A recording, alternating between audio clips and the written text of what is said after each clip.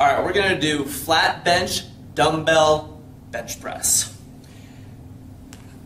Once you grab the dumbbells, start with them up in the air, slowly spread them and drop them down to the outside of your chest, stopping when you feel that stretch go across the pec muscle, and then exhale, bring them up, inhale, bring them down.